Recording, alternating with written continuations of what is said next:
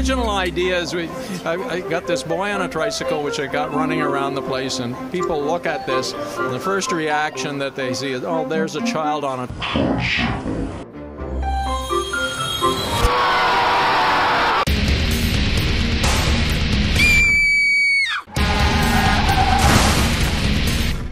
There's something wrong with this kid.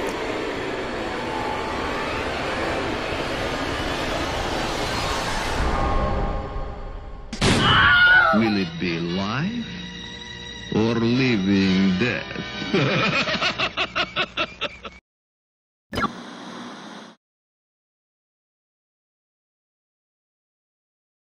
We're here at the Maker Faire. This is Boing Boing TV, and I'm Mark Frauenfelder, and I'm here with Dan O'Connell. And Dan, tell me about this uh, little boy here. The original idea is we, I, I, got this boy on a tricycle which I got running around the place, and people look at this, and the first reaction that they see is, oh, there's a child on a tricycle. Uh, and then almost immediately after, they realize there's something wrong with something wrong with this kid and it takes however long to figure out this is just a machine that's wandering around the place and you know sort of disconcerting them a little bit. What's happened now, of course, I've broken a few of the bits and pieces, but in any case, a lot of people, let's say like yourselves, are coming around inquiring about the guts of this and how it was put together and, and so on. Tell me how it was put together. Oh, there's a couple of uh, actually several weird things. Uh, starting from the back, I got uh, drill motors that are underneath here um, that I've, I've, pulled out from cordless drills. Wires run up here, so it's a little more discreet. And in here, some of the control stuff and so on. This is just a remote uh, receiver. What happens is there's a motor here for the steering, and it comes up through a spring-loaded clutch, and that connects onto this which moves the arms in this manner. And so you get this forward and backward thing, and the forward and backward thing, of course, moves the, the steering in this way.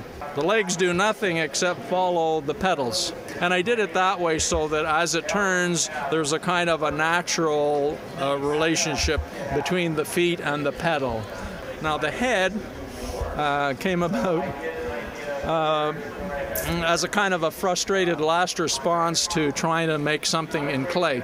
If you take a look at my website, there is an original clay head I cast the original clay head in plaster and ripped the plaster apart and wrecked the original and a few other frustrating problems. And then I walked into a junk store and found these hairdresser mannequins. So I said, well, that's the end of that problem. now, of course, for every problem that's solved, there's a problem which is created. Uh, since this is a hairdresser mannequin, it had eyeshadow and such. At that stage, once more sort of serendipity hit. I walk into uh, what I call Wally Mart, and there are these Google glasses here, this sort of thing, staring at me for a dollar. Of course, I, I buy the glasses and I stick them on, and that's the other problem solved.